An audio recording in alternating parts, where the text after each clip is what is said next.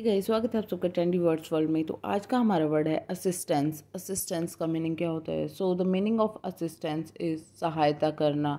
If you give someone assistance you help them to do a job और task by doing part of the work for them अगर आप किसी की assistance कर रहे हो तो आप उनकी हेल्प कर रहे हो, उनके किसी भी काम में या कोई पार्ट ऑफ़ वर्क है जो उनका आप थोड़ा बहुत कर रहे हो, यानी कि एक तरीके से आप उनकी सहायता कर रहे हो।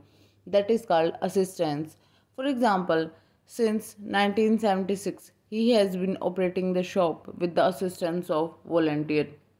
1976 से वो ऑपरेट कर रहा है शॉप को किसकी हेल्प से वॉल्टियर्स की हेल्प से आज की वीडियो में बस इतना ही थैंक यू